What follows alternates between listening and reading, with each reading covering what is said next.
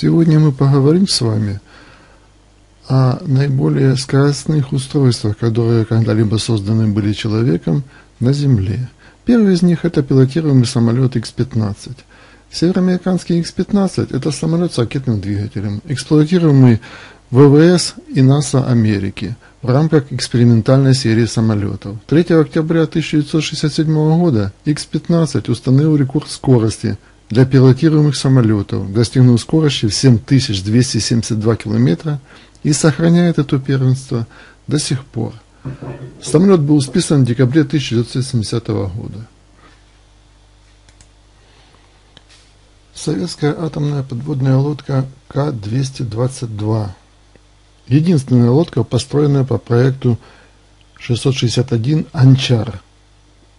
На Западе она называлась почему-то «Папа». Первая, имеющая титановый корпус, являлась самой быстрой подводной лодкой в мире. Впервые была введена в эксплуатацию 31 декабря 1969 года и достигла рекордной скорости 44,7 узла или 80 км в час. Лодка была демонтирована 5 марта 2010 года. Пилотируемый космический корабль «Аполлон-10» 39 895 км в час – Аполлон-10 был четвертым пилотируемым кораблем в космической программе США «Аполло». Он должен был совершить испытательный полет перед запуском Аполлона-11 и служил, собственно, генеральной репетицией перед высадкой американцев на Луну. Аполлон-10 попал в 2002 году в Книгу рекордов Гиннесса за самую высокую скорость, достигнутую пилотируемым транспортным средством во время возвращения с Луны 26 мая 1969 года. Как я уже говорил, он развил скорость в 39 895 км в час. Следующим у нас идет экспериментальный гибридный вертолет «Винтокрыл» Eurocopter X3, созданный компанией Eurocopter –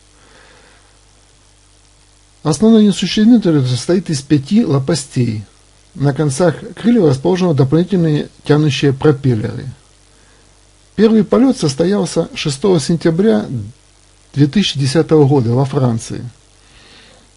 12 мая 2011 года X3 достиг скорости 430 км в час, а 7 июня 2013 года гибридный вертолет Eurocopter X3 совершил первую историю авиации прорыв, разогнавшись до 255 узлов, тем самым победил мировой рекорд скорости горизонтального полета 472 км в час. Он достиг скорости 486 км в час. Следующим идет беспилотный самолет HTV-2 «Сокол».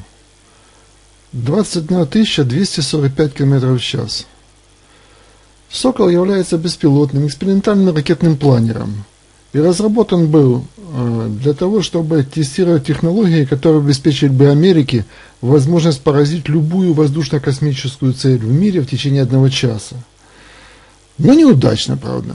Первый HTV-2 совершил полет 22 апреля 2010 года, но контакт с ним был потерян на 9 минуте полета – Последующие запуски на территории Тихого океана продолжали терпеть неудачу.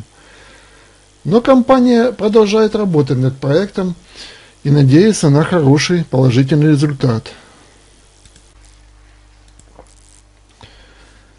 Ракетный автомобиль Траст является британским ракетным сверхзвуковым автомобилем, разработанным Ричардом Ноблем, Глином Бауше, Роном Айрсоном и Джереми Блиссом. Этот автомобиль побил рекорд скорости 15 октября 1996 года, когда развил скорость в 1228 км и стал первым автомобилем, который официально преодолел звуковой барьер. Вел машину военный летчик Энри Грин – в пустыне Блэк-Рок в штате Невада.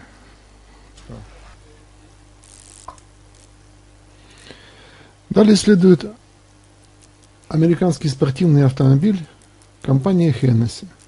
Hennessy Venom GT 435 км в час. Автомобиль был показан 29 марта 2010 года и является самым быстрым серийным автомобилем в мире. Автомобиль представляет собой модификацию версии модели английской спортивной машины Lotus. В 2013 году Hennessy Venom на испытаниях развил рекордную скорость, разогнавшись до 400, как я говорил, 35 км в час. Стремление людей передвигаться быстро приводит к тому, что появляются такие же дорожные поезда, как Маглев. Маглев – поезд на магнитной подушке, который использует систему магнитной левитации. Центральная железнодорожная компания Японии и Железнодорожный научный исследовательский институт разработали один из последних проектов поездов на магнитной подушке в Японии MLX-01, который разгоняется до 581 км в час. Произошло это в декабре 2003 года. Это делает ее самым быстрым железнодорожным поездом и рельсовым транспортным средством в мире. Ну и неудивительно.